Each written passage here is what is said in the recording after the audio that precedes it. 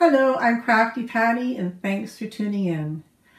I do get requests from my viewers on ideas on what to make for another video. So here you go. I had a viewer ask me, could I make a curvy basket, is how she called it, a curvy basket. So this is what I've done. I'm now showing you how to bring a basket from a small base, getting wider, and coming up to a narrower top. And you've attached a lid. Now this I would call maybe an intermediate, maybe to advanced if you've never done rope bowls before. So I would suggest starting out with my first tutorial on how to make rope bowls. Start with something like this first and then advance up to something like this. There's a little tiny bit more holding techniques, but it's doable. You will get there and you will be able to make this with a bit of practice. So, I mean, you can make lots of different shapes of lids. Like this one here, I've made it a little bit flatter and then domed to the middle. And this one here comes up a little bit higher, more like a a beehive look.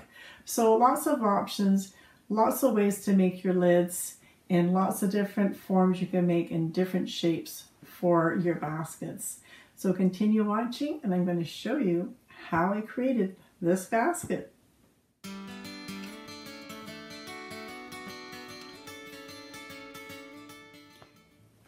And today I'm going to be using my manual Husqvarna machine in a jeans needle, size 90 for 14, and Gutermann 100% polyester thread.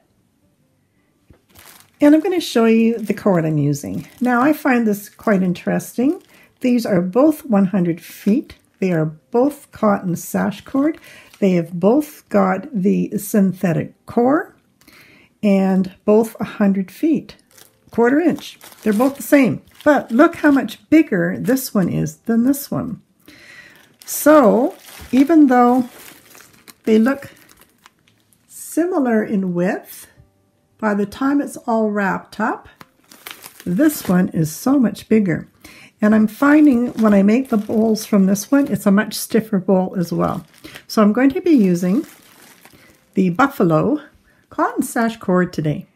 And the same as all my other rope bowls, I always unwind this because if you don't, it tends to tangle while you're sewing, and that's just frustrating.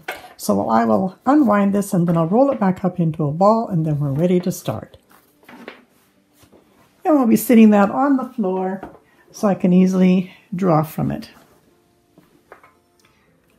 Now in a lot of my rope ball videos, I have showed putting a piece of tape on the end of this to contain all those loose ravelly ends. Now, some people have commented saying, well, I don't really want tape on the end because you might be able to see it. Well, you cut most of it off.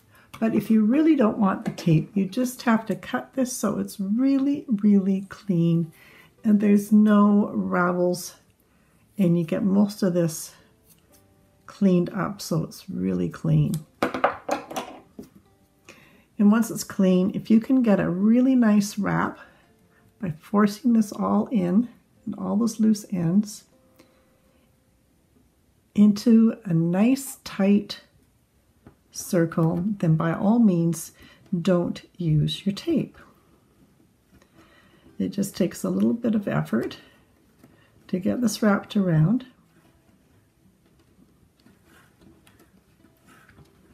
And I find by sitting it on a table, that's much easier because you can keep it nice and flat and get your rounds made. Once you've done about four rounds, I'm going to come in with my pins like I always do, one on each side just to hold my little circle together here.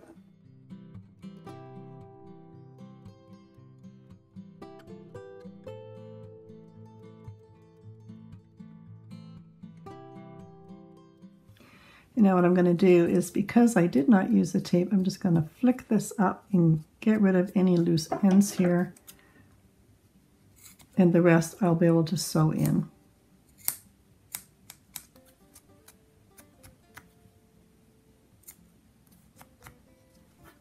And the same on this side. Just flick up any loose ends. Okay, so again, like all my other baskets, I'm going to sew with a straight stitch straight through this way and straight through this way. To get started, what I like to do is, you can see that my presser foot is sitting further down and higher up because the rope is higher. I lift up my presser foot, I bring it into the middle more.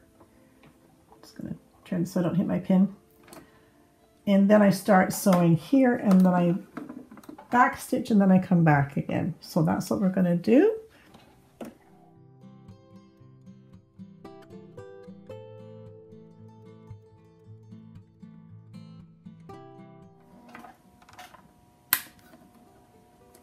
Now, because I have chosen not to use the tape, I'm going to come back and forth in the middle here and just make sure that all those little ravelly ends are not flying all over the place. In fact, what I'm going to do here, I'm going to choose to then go into my zigzag. So I'm just going to change and come into my zigzag. And then I'm going to back it up. And we'll just contain all those little loose ends right in the middle here. And back again.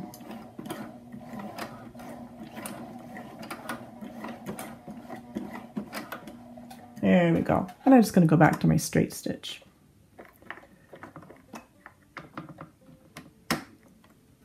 Follow through to the end here. And lock it in.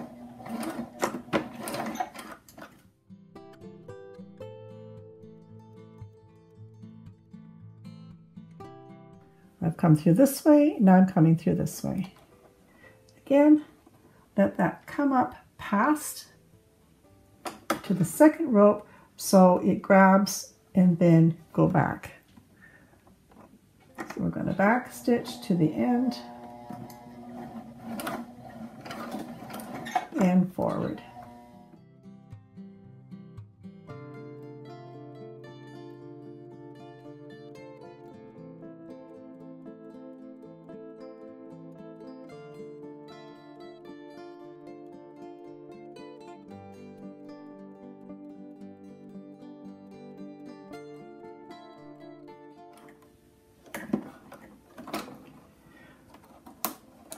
Once you've got this first section, it's much easier to now go around and do our rounds. That's why I like to do that.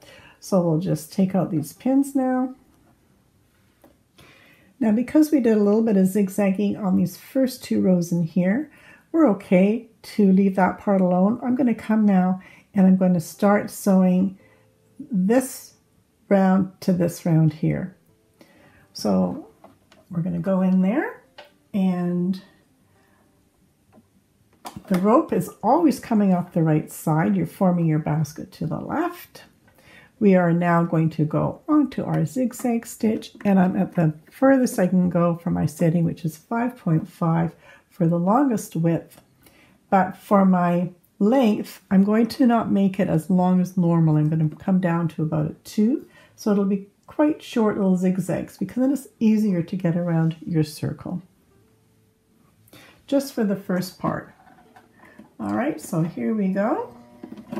And this part will be going a little bit slower. Just get that locked in. And then what I'm doing is I'm watching the break in my presser foot and that tells me that I can try to match up the middle between of my two ropes. At this point in time, I'm just going to lift up my foot and move it around and continue sewing in the circle here, trying to catch both sides, moving it around.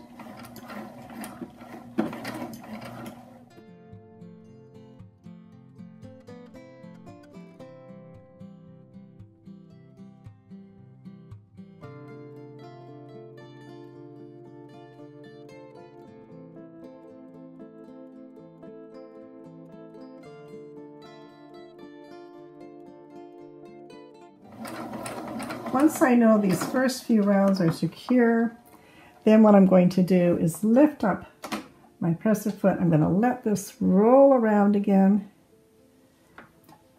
just because we don't need all of that in the way. I've got one more round to do and then we'll unwind this again.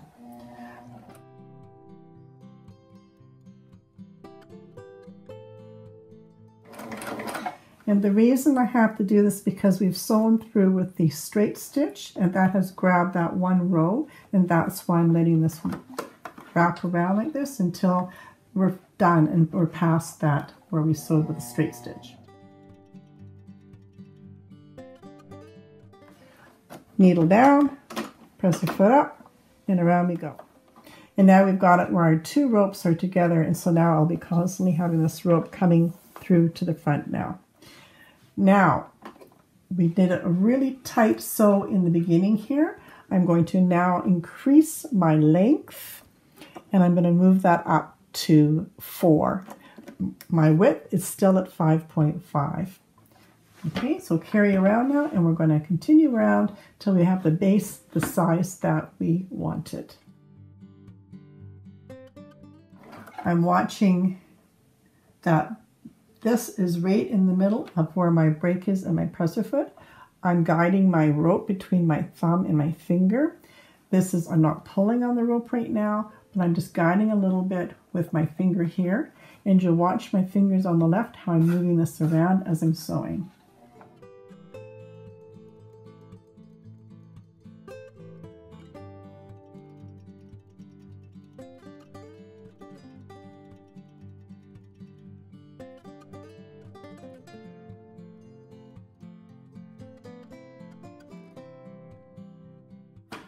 You'll notice that I've got the boards here, or if you have a machine that you've got an extended bed, even better. This board with the base coming up over it will help to keep this nice and flat and not dome. You want this always to be flat. So carry on.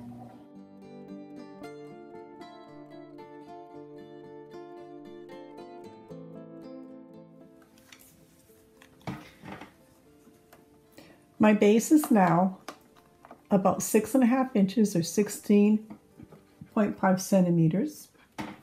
And now I'm going to start to bring up my sides. I'll be bringing up my sides gradually, probably about here, and then I'll have a nice gradual bend like so. Now, your machine is going to dictate how far you need to come out to come in again.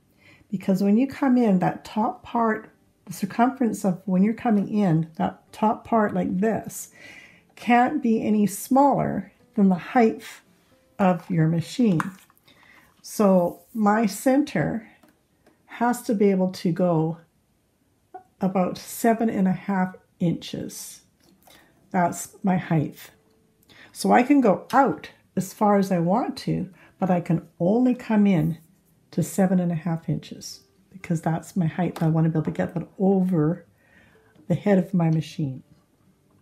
So I can keep track of my rounds. I'm just going to slip a pin in here. That will tell me where my starting point is. For my first round, I'm going to lift it just slightly. I'm going to go around once.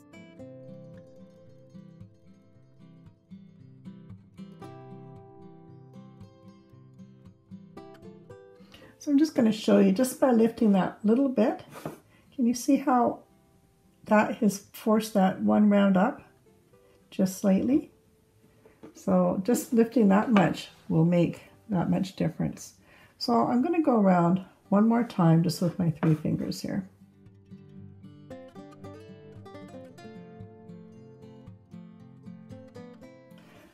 Back to my start. Now, instead of having my three fingers flat, I'm going to turn them like this, and then I'm going to sew around.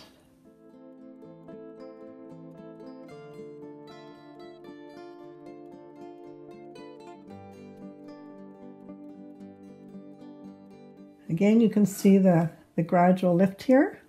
That's how much is starting to come in. Again, one more round with my three fingers underneath.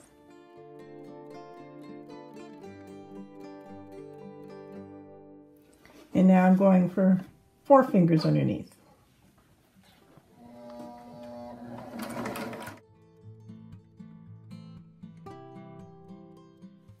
Now I've got my whole hand and instead of on the edge here, I'm going to slide my hand further in to raise it some more.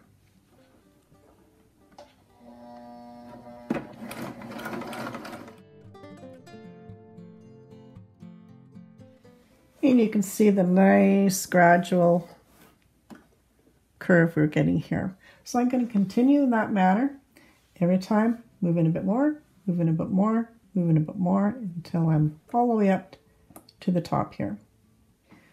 Once you've got the height that you want here, then that's when we're coming up right against the head of our sewing machine. And now these rounds here will be coming just straight up and then we're going to start to curve it in. So a few rounds of just all the way up and then I will show you how we start to curve it in.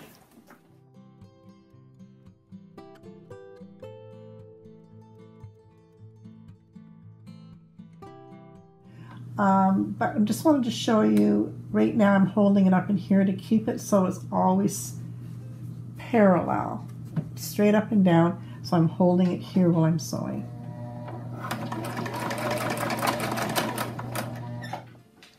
Once you've done a few rows, it's sometimes easier to take it out of the sewing machine. And I've just been working on now making this a little bit straighter.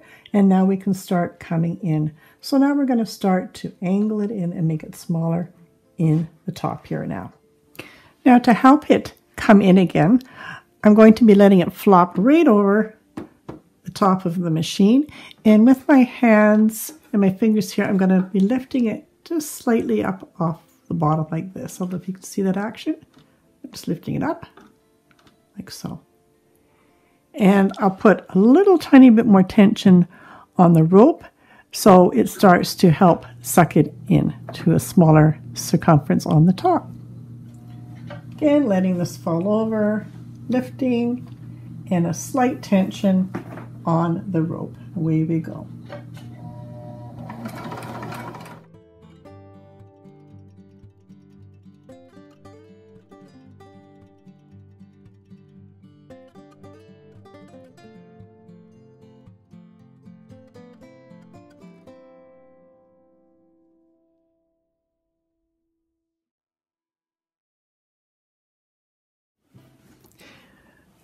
Now when you get to the stage before you're doing your last rounds to bring it in even smaller, go around and pull on your cords and make sure you have not missed any because this type of uh, basket making is a little bit more difficult the way you have to bring it over. So if you've got anything like that, just bring it back in, reinforce it, backstitch, fix it and backstitch, and then keep fixing all your areas if you've got any. So I'm going to continue to go around until this is hitting against here and I'll see how far I can get. This is why I originally told you when you're making your basket, make sure that this can come over your machine so you can get it to come in. Otherwise, this type of basket is very difficult to make any other way. This is the easiest way to do it. So you'll see here, if I try to come up this way, I'm going to get it coming to be a straight side again. That would be cool. That would be another cool uh, design as well. But for my design, I want it to keep coming in. So this is just about as far as I can go. You can see where it's hitting on the top almost. I can maybe get a couple more rounds in there and then I will stop.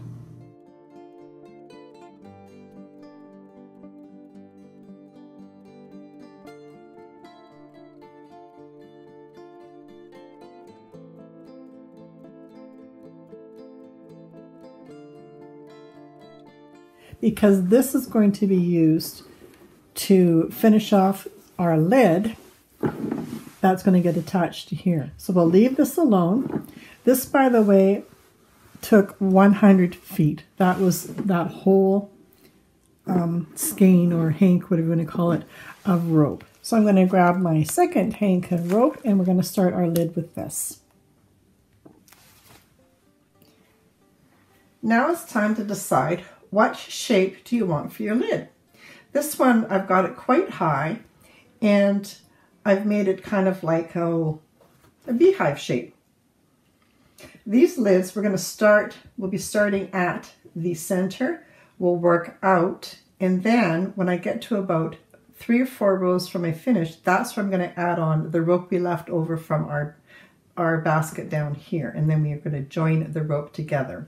That will be how we're going to do the join here. For this one, you can see that I've made it almost flat here and then I've domed it up just for a different effect on this one. So you have to decide how you want your lid to look. Domed, or you can do, do a totally flat lid, like flat across. It's all what you like. And again, we're going to start our center of our lid exactly the same way as the other one. You can choose to put the tape on here and then cut most of it off so you've only got a little tiny bit of tape showing. Or if you don't want the tape, then just clean it up as best you can and then really squeeze all of those raw little ends into that circle. You want that nice and tight to contain all of those raw little pieces of cotton rope that are flinging all over the place. So just get it started, keep it on the table, push that down.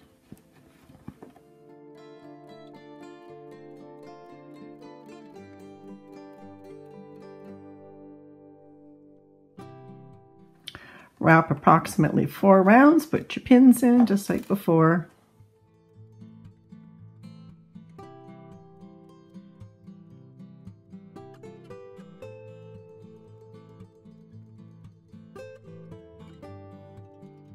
And I'm going to come in and again, like I did before, just flick this up and cut off any excess little stray pieces of cotton rope.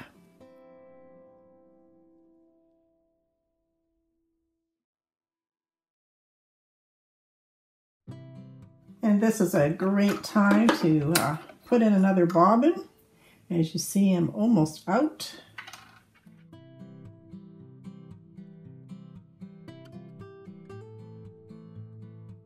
And as a reminder, I'm going to bring this up to my second round of rope so it catches nicely so I can secure this area and then backstitch and come forward.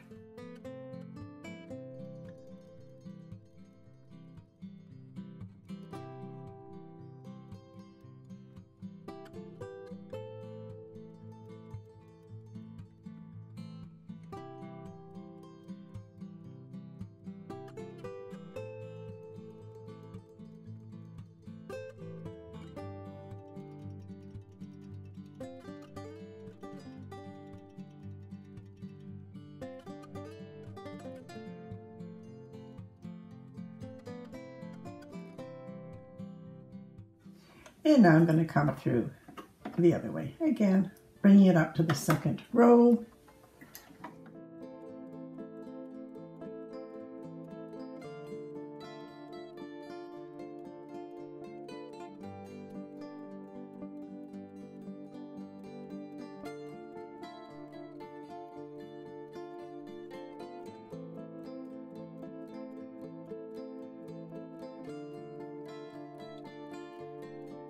Cut off all my little ends here.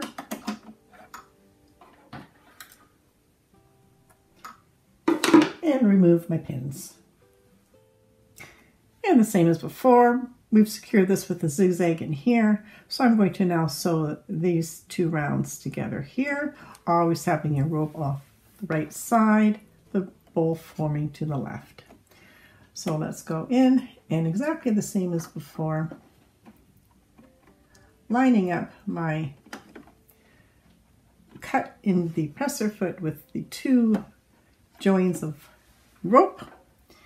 And it's on my 5.5 my widest but to get around these little tiny circles I bring it down to about a two and a half very very small in in um, length for your zigzag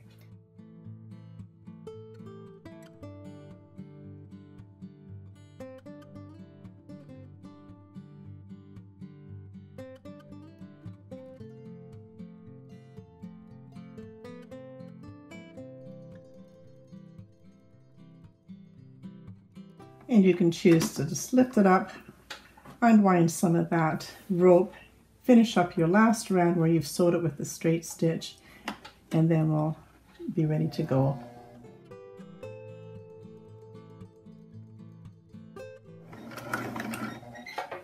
Needle down, press the foot up, let that roll around, and now we're ready to go, where the cord will always be coming straight down.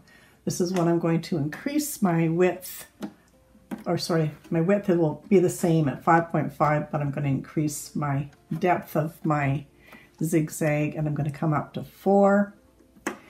And now I'm going to just start lifting slightly already because I want that to be a little bit of a dome. So I'm just going to put my finger under here and we're going to start to lift already.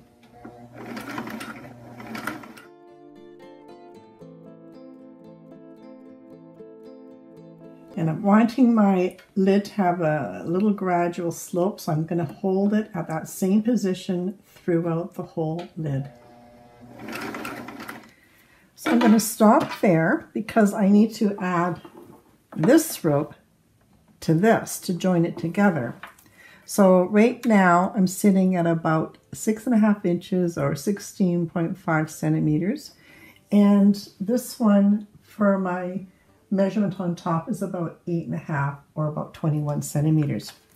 So we're going to take this off now and we have to do a little bit of a calculation with our rope and then we'll cut the ropes, join them, and we'll finish our lid. So we'll just secure my last part here. Now we're ready to figure out how much rope we need to make the finished part of our lid to fit our basket. I'm going to cut this off, but I'm going to leave a bit of length here because I want to be able to make it easy for me to join these two. So we'll cut it off there. That's all we need for that rope. And now what I'm going to do is I'm just going to do a rough measurement here.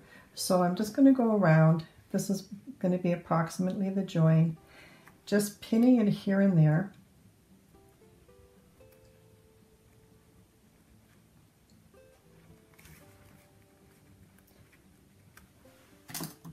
And this is going to allow me to figure out how much rope I need to cut off.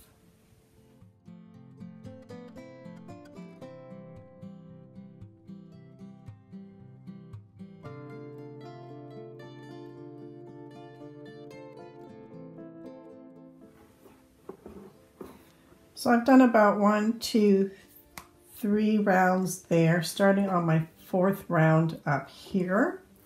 So I'm just placing it up on my basket here and I'm seeing how much more I have to go. So by the looks of it, I need to go around two more rounds because I want this to overlap onto this one here. So I'm thinking two more rounds should do it. So I'll just loosely wrap this around here that's one.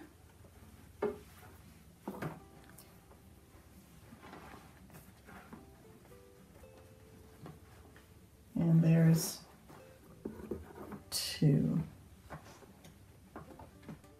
Now, this is how much I've got left over. Now, I could either make this lid come over just a little bit more. So that's what I want you to do is just kind of get your rough estimate on how much rope you need. If you found that this was too much, then from here to here, I would know that I have to cut off this much at the beginning of my rope. So then I would cut off that much. But I'm going to leave it. So now I know I've got enough rope to finish my project. So I'll just take all this out now, all the pins. Now, if say you left not as much as I left, then you have to just make sure that when you're doing your lid that you don't cut it off until you know you've got enough to join them and to make a lid big enough to fit your basket. So I did cut it off because I was pretty confident that I had enough. But if you're not sure, then leave that attached to your end. You can always have this longer if needed. All right, now it's time to take this to the machine and we're going to attach this to this and we're going to sew it together. I'm going to sew this up a little closer till I'm about this far away from the rope and then I'm going to stop.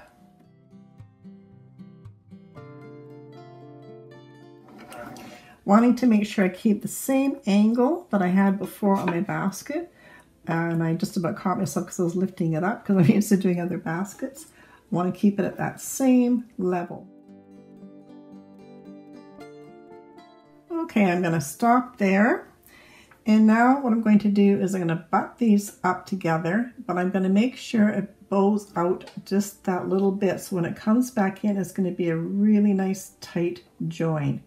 Because I'm not using the tape method, um, it's a little bit more difficult because this rope really does fray a lot. That's why you've got to have a really close attachment. So I'm going to put a pin right here so it stays in that position.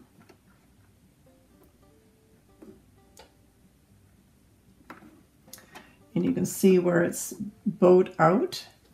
And I'm going to get this to all come in together. And when I push it together, we're going to make sure all of this is nicely neat and tidy and it's pushed in so you can't see where the join is. So what I'm going to do is I'm just going to try to push all these little tiny pieces of cotton rope into each other. And this is where your stiletto comes in handy because this is where I'm going to be coming in and really making sure I've got all this nicely pushed in as best I can. Okay, so we're going to get a little bit closer here, holding the angle of the basket the same as before, not up, but the same angle, and joining the rope at the same time. Now I'm going to actually bring this down so I'm not on my four for my length again. I'm going to keep my width the same at 5.5, but I'm going to bring this back down to about 2 0.5 and that will give more security for this join here to make sure it's nicely joined. Again, I'm just mushing this all together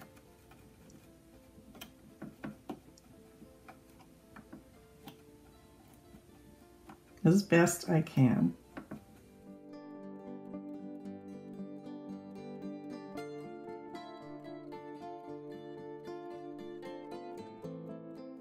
And now I'm going to back it up again, secure it more.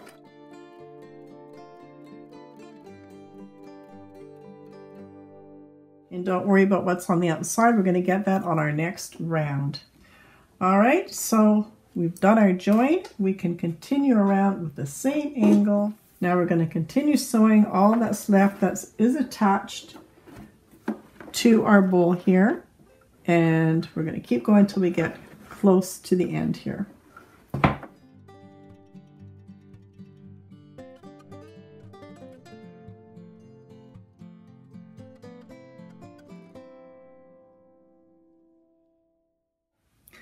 We're getting close to our little end here. Again, I'm going to just see if I can push all these so it's it's grabbing it onto the inside of the rope here.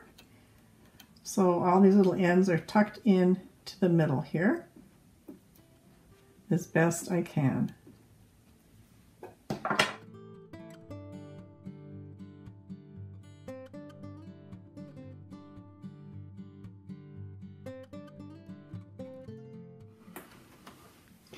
Now before I use up all of this rope that it's attached, I want to come back in and reinforce that join a little bit more.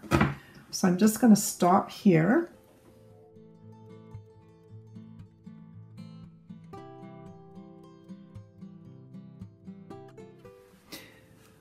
So I just wanted to inspect my joint on both sides and there's a little bit of um, rope coming up. I could probably cut that off or I could reinforce a bit more.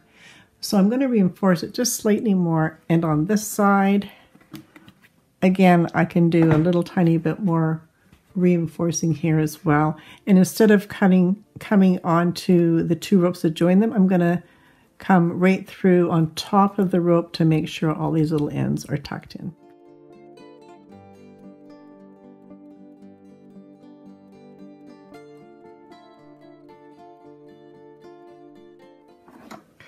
And once you're happy with your reinforcement of your join, you can come back in and let's continue sewing right up into the end where it's going to join together.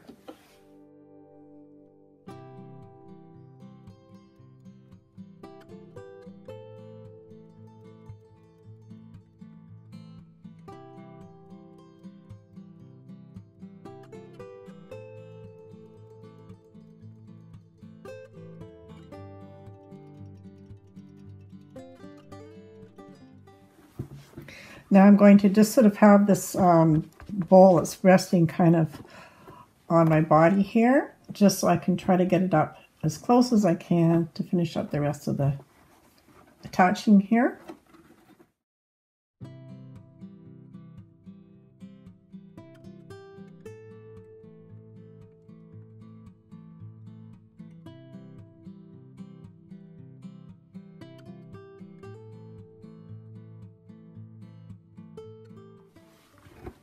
I don't, I'm trying to do this so I don't, so I don't get my head in the way. So I'm just going to have to like squish this up a little bit here. So we've got them both coming together still. Okay, I'm about an inch away from here to where it joins. And that's a pretty good join. I'm going to go back a few times back and forth because this is the pressure point here. Okay, let's take that off and we're done.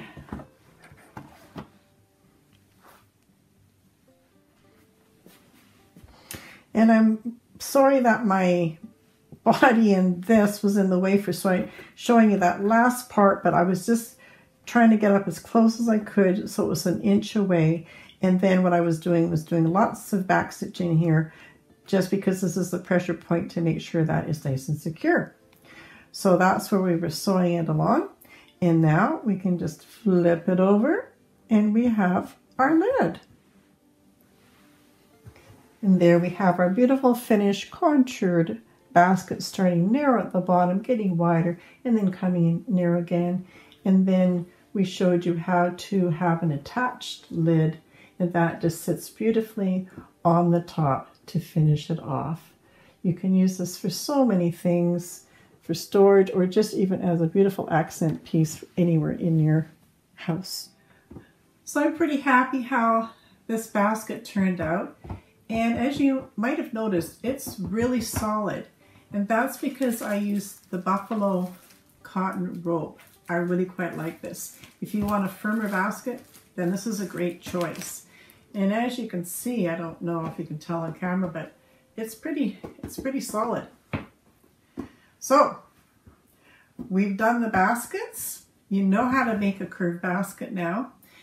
And we don't have enough time on this video to show you how to do some embellishments on this, but that will be a future video coming up. I'm kind of thinking for this one here, I would love to do uh, ombre blue, having it going dark to lighter and then maybe dark and then light in the middle here. So keep your notification bell on and you might see that video coming up in the future. And also another way to embellish is you can add a bead onto the top for a handle and you can use embroidery thread to create your own special design work. Or you can do something like this. Now, I will go into more detail into the next video and I'll show you how I created the fringe, how to do embroidery work, and how to add some embellishments. So until then, keep watching. Bye-bye for now.